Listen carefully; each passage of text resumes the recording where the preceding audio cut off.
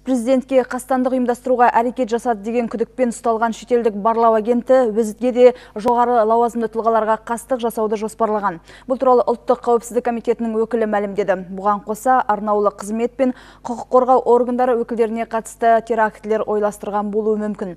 Тінту барысында шетелде шығарылған дыбыс өшіргіші бар снайперлік винтовка, есірткі заттары мен ірі сомадағы ақша тәркіленді. Тергеу жүріп жатыр оружие в Казахстан было завезено. Қару Қазақстанға бөлшектелген күйде жасырын әкелінген.